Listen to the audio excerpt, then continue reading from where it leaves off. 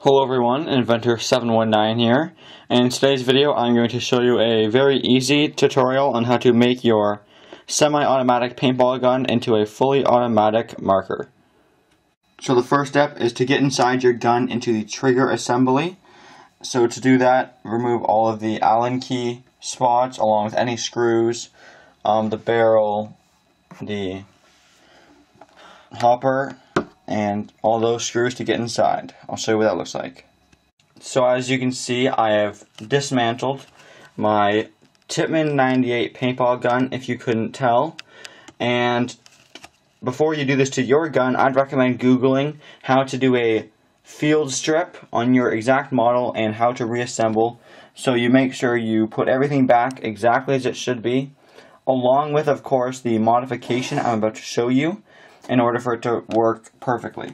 So what we're going to focus on modifying is the trigger assembly area, which is right there on my gun. So as you can see, uh, just behind the trigger there's the black piece right here, and right about, and all it does, sorry, is when you pull the slide back or when it automatically cocks back in semi-auto mode, this little lever here will lock the slide. Hard to show you, but it goes back and forth and it'll lock the slide. And right here, as you can see, there's a hole. I just put the nail in it. And if you use something like a nail or whatever to jam this hole, it'll prevent this lever from um, catching the slide and essentially locking the trigger in the on position.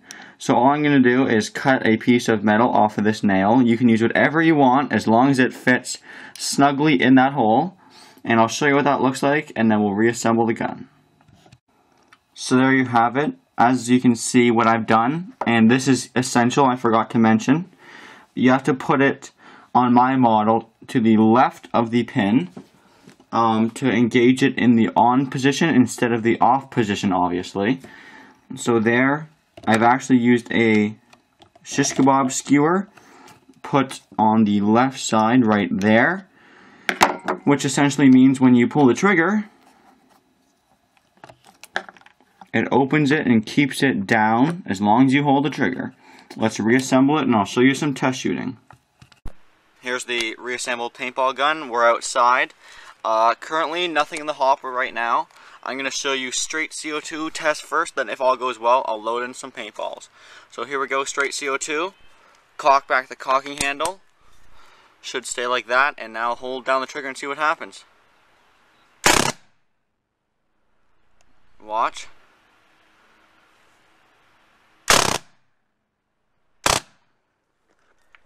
It is a gas hog, let me tell you. But I'm going to load in some paintballs and we'll shoot at that tree. Got some ammo loaded in my hopper now that we know it works, full auto. I'm going to be shooting at that tree, and uh, let's see how this goes.